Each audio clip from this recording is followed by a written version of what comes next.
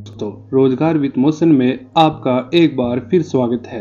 आज हम बात करने जा रहे हैं भारतीय टीम के पूर्व कप्तान और मौजूदा क्रिकेटर विराट कोहली के बारे में। विराट कोहली एक बार फिर पिता बनने वाले हैं। यह जानकारी उनके खास दोस्त और पूर्व साउथ अफ्रीकी बल्लेबाज एबी डिविलियर्स ने दी है। उनचालीस साल के बल्लेबाज AB de Villiers Bharat England Test के दूसरे दिन अपने यूट्यूब चैनल पर लाइव आकर उन्होंने ये बात कही है। डिविलियर्स के एक फैंस के सवाल पर कहा, मैंने कोहली को कॉल किया था और उनका हाल चाल पूछा है।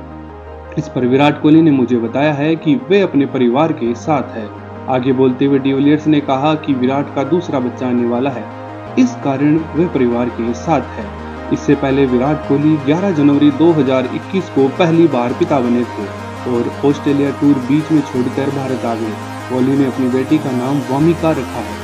विराट कोहली 25 जनवरी से खेली जा रही भारत इंग्लैंड टेस्ट सीरीज़ के शुरुआती दो मुकाबलों में टीम इंडिया का हिस्सा नहीं है। उन्होंने निजी कारणों से अपना नाम वापस लिया है। इस पर बीसीसीआई ने बयान जारी कर कहा है कि कोहली ने कप्तान रोहित शर्मा सिलेक्टर्स और टीम मैनेजमेंट से बात की है और फैमिली रीजन के कारण अवकाश लिया है। बोर्ड ने उनकी निजता का सम्मान करने की अपील की है। इससे पहले कोहली की माँ की बीमारी के बारे में कयास लगाए जा रहे थे। कुछ रिपोर्ट्स में यह दावा किया जा रहा था कि उनकी माँ बीमार है तो कुछ में कोहली के पिता बनने की